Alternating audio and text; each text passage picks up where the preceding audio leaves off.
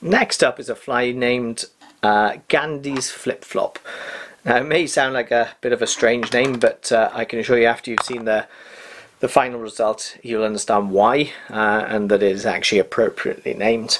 Um, it's a a very simple uh, but very uh, effective uh, Icelandic dry fly for big brown trout.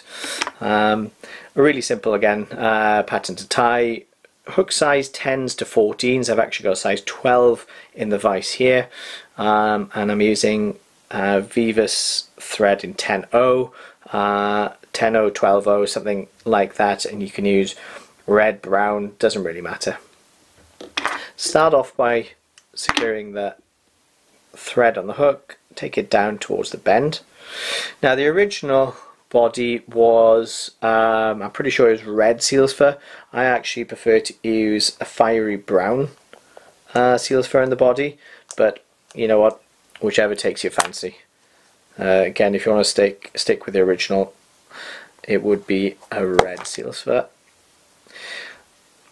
I want the body to be relatively fine, but don't dub it too thinly either because uh, you want it to be fairly straggly and buggy uh, and keep a lot more of that buoyancy whereas if you were to create too tight a rope with the seal's fur you're going to basically eliminate a lot of the air that can get trapped in there.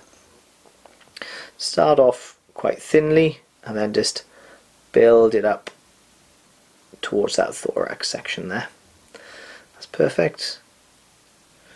So this is where the, the flip-flop part comes in and it's actually black foam, uh, 3 mil in depth and then I've cut I've cut I cut it around 4 mil uh, wide.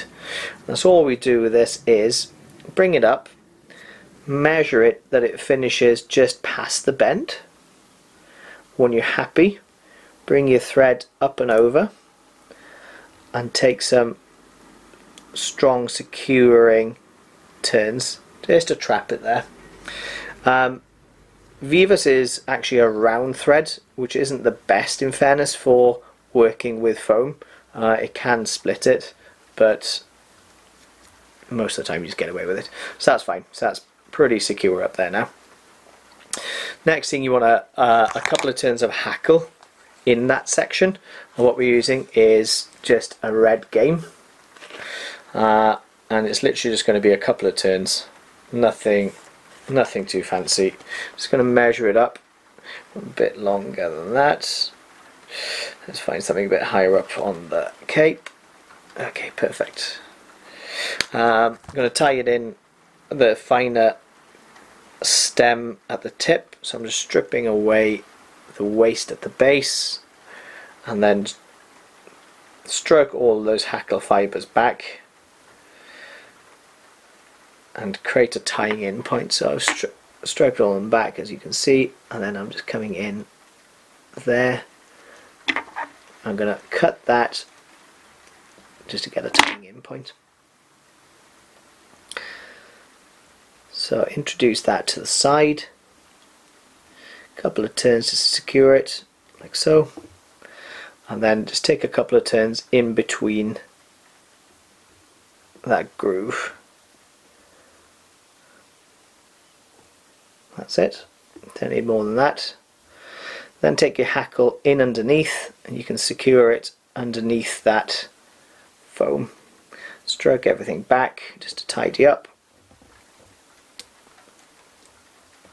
and then you can cut off the rest of that hackle. There are some straggly ends. Uh, honestly, if this was just a pattern I was taking fishing, I wouldn't bother doing this, but just for the sake of the video, I will tidy these up. Not to make me look completely incompetent. I am largely incompetent, but not completely. Uh, so that's there. So all we do now to finish off is just that little head section. I'm leaving myself a bit of space there. So all we do is uh, come in with the deer hair, uh, sorry, the uh, seal's fur again, and you, again you can use red, uh, but I'm going to use fiery brown as per the body. So just create a, a little rope which will help you just to create a bundle behind that front section of foam. Don't, again, you can pick all of this out at the end if you wanted to in fairness. Don't, uh, but don't dub it too tightly. And create, create a little ball of deer hair there which you can again if you want to you can pick out bring your thread forward to the eye and tie off